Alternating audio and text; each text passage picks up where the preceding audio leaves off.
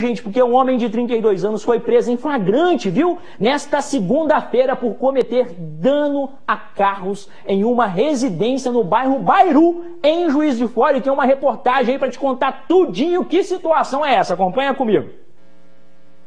O homem de 32 anos foi preso em flagrante pela Polícia Militar por dano. O crime aconteceu na rua Jovino Ribeiro, no bairro Bairu, em Juiz de Fora. Moradores da região contaram que nos últimos três dias o suspeito vandalizou carros que estavam estacionados na rua. Os veículos foram arranhados e tiveram os para-brisas trincados. Dos quatro carros danificados na madrugada desta segunda-feira, um deles foi o da Sheila. Sheila, você chegou a escutar barulhos de noite, né?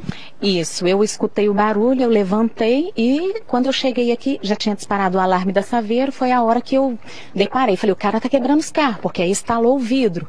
E aí, como meu carro já tinha sido arranhado uma semana antes, profundamente mesmo, eu falei, é o cara que tá arranhando os carros. Aí eu vi que quando disparou o alarme, eu achei até que ele ia parar. Mas não, ele tava com um porrete na mão e ele saiu acertando todos os carros. Ele tá dando pedrada, jogando pedra na residência das pessoas, então quebrando as janelas, né? Enfim, é um vândalo, né? O homem tem diversas passagens por vandalismo e tráfico de drogas. Segundo a polícia militar, o suspeito confessou ter cometido o crime. Deslocamos até a residência do autor, onde o mesmo confirmou ser ele o autor da, da prática das, da, do dano nos veículos e na residência das vítimas. Já é conhecido no meio policial por, por, uso de droga, por dano ao patrimônio e, e, até mesmo pelo crime de tráfico de drogas. Já é um é mais no meio policial.